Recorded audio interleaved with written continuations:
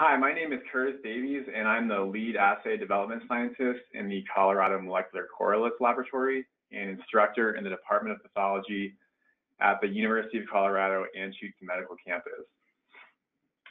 So I'm going to start out today by giving a very brief background on uh, cancer cell biology. Um, the human body is made up of trillions of individual cells, tens of trillions actually, and these cells are all designed to be very highly regulated in terms of when they grow and when they divide. So under normal circumstances, cells won't grow and divide unless they are given a signal to do so. Cancer arises when cells, and theoretically starting from a single cell, gain the ability to grow and divide without being given a signal. In other words, something has gone wrong and the tightly regulated process that controls cellular growth is disrupted, and this allows for unchecked cellular growth and proliferation um, of the cancer cells. Basically, cancer kills you when the cancer cells grow and proliferate to the point where they interfere with your normal body functions.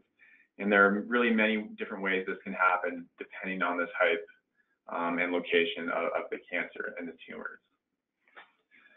So how do cancer, cancer cells gain this ability to grow without a signal? And so to, to describe this process, I first need to define some terms.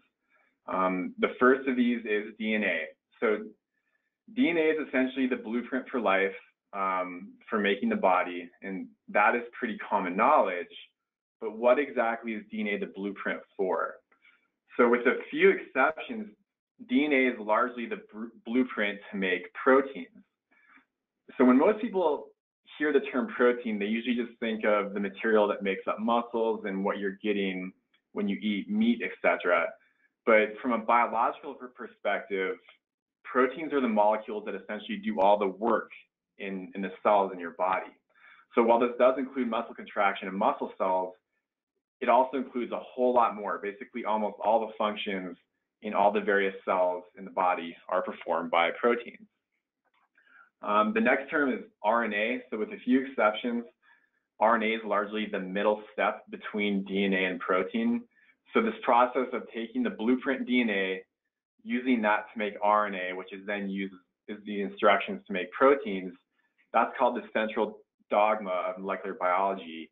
And it's essentially how the blueprint of life gets converted into the, the makeup of your body. Uh, the next term is gene. Um, a gene is essentially a part of your DNA that is the blueprint for a single protein molecule. Um, we now think there are somewhere in the ballpark of 20,000 genes in human DNA.